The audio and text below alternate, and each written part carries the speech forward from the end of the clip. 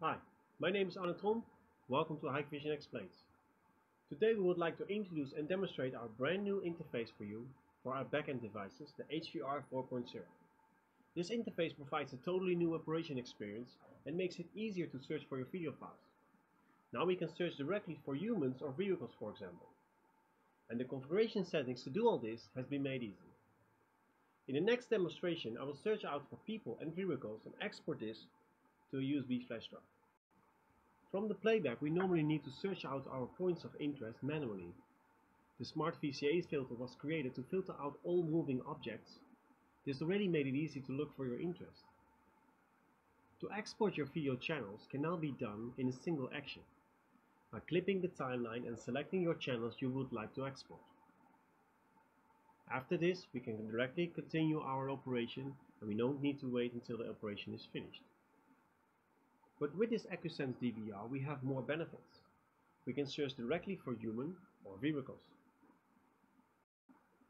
For example, I would like to search for a human. Or I'm looking for a vehicle.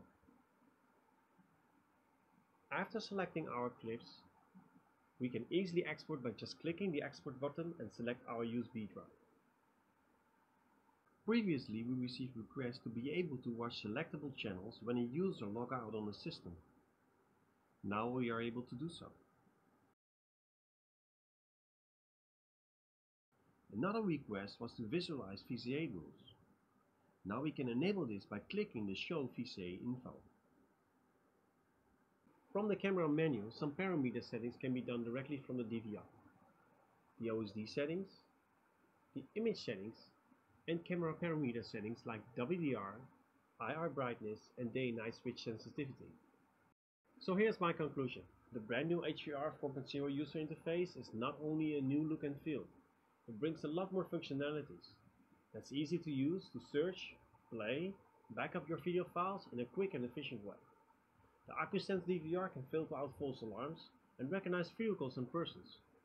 Let us know what you like the most about our new interface. My name is Arne Tol. Thank you for watching.